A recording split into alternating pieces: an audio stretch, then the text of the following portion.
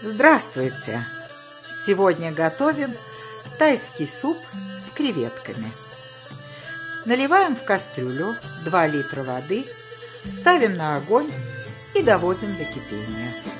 Пока вода закипает, подготовим креветки. Надрезаем креветки по спинке до хвостика.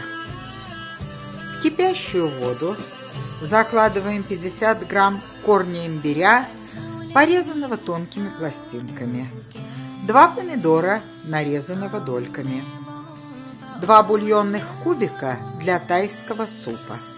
Кипятим 5 минут. Добавляем крупно порезанные 8 грибов и слегка погружаем их в воду, не перемешивая. Кипятим еще 5 минут и добавляем подготовленные креветки. Затем 8 зубчиков чеснока, мелко порезанных, и 150 грамм сливок или молока. Кипятим 3 минуты и выключаем.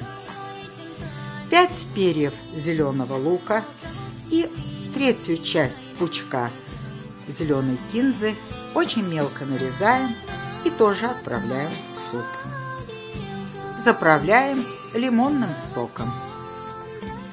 Суп готов наливаем в тарелки и подаем к столу. В переводе на русский язык это означает «Дорогие друзья, приятного вам аппетита!»